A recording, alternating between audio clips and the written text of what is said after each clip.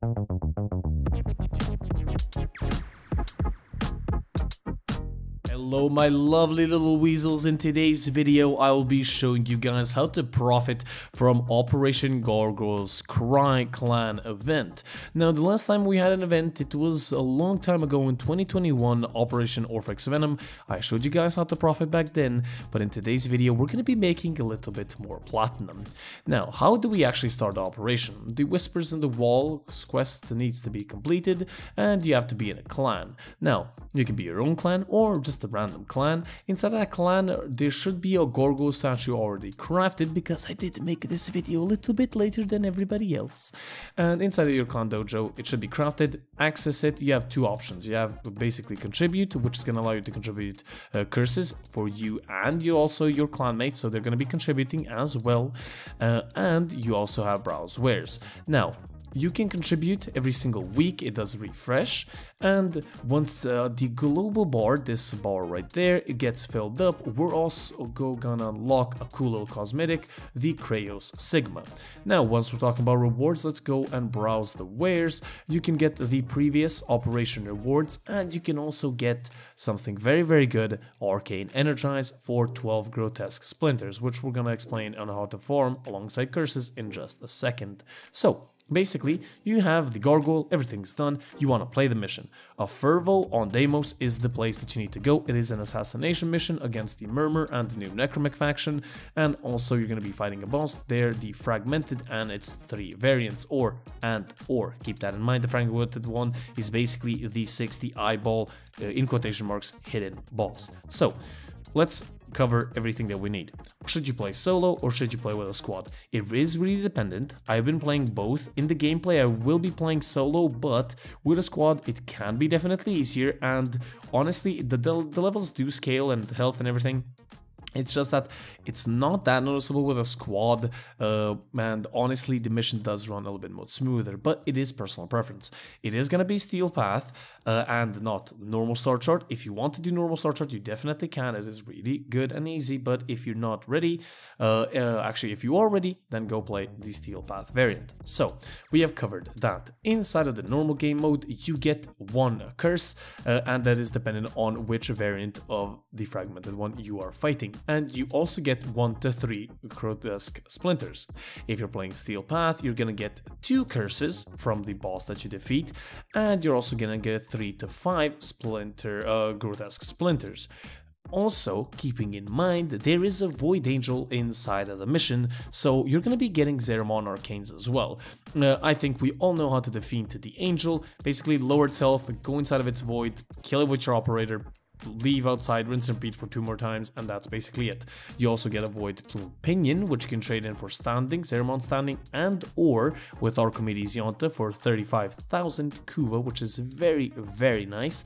And as I said, you get two curses. Now, the curse depends on the fragmented variant, so you can get Suzerain will drop you the Curse of Knowing, Acronite will drop you the Curse of Seeing, and Zelator will drop you the Curse of Hearing. So Basically, it all depends on which variant you're fighting. If you're fighting the fragmented one, which is collecting 60 eyeballs instead of 30, you will get two curses of each type. So that is very, very good. But the uh, grotesque splinters stay the same at 3 to 5 on Steel Path. And you also get two Steel Essence, which is very good, I guess. Now, we have covered that and my honest recommendation steel path and not fighting the 60 eyeball boss. Now how's the mission gonna look like? Basically what you're going to do enter the mission and then take those little uh, node thingies marked on the map. Uh, i guess you can see the name up on the screen put them in, then the Vitrium is going to seek out these eyeballs that you're going to have to collect. 30 of them is going to be enough. As I said, you can do 60, but it's going to be a little bit more, difficult. When I say a little bit more, a lot more bullet spongy.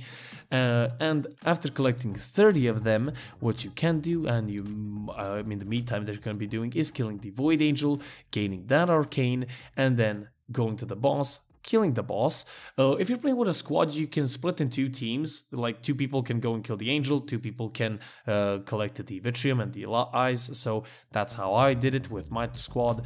Uh, but you defeat the boss and you get the uh, the drops, you get the curses don't forget to pick them up. So keep that in mind. You have to pick them up. Uh, you get the curses that you, uh, of course, uh, need for contributing. Uh, it is dependent, as I said, on the fragmented one.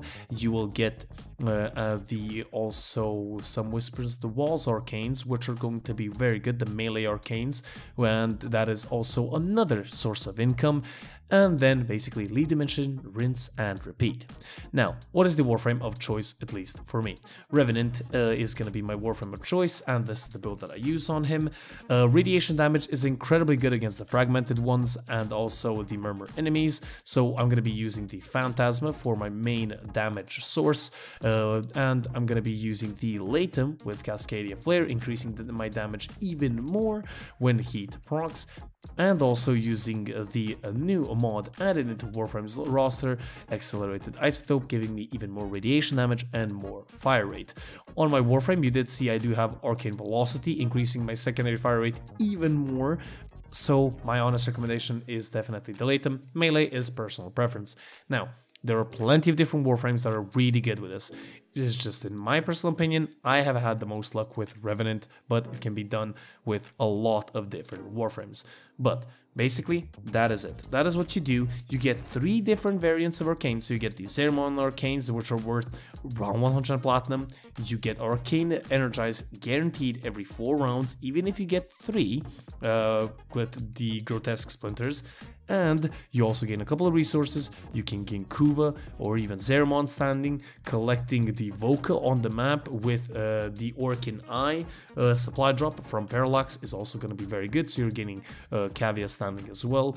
This is an extremely good mission. Do this mission for the next four weeks, and you are pretty much what secure with Platinum for the next like at least eight or six months if you do it smart. But that is mostly it. Hope you guys enjoyed. If you guys did and I missed something, leave it in the comment section down below. If I didn't and you think I did a great job, leave a like and do subscribe for more. We are trying to reach at least 14,000 by the end of the year, so 500 more left. And I'll see you guys on the next one. The Gaming Weasel over and out.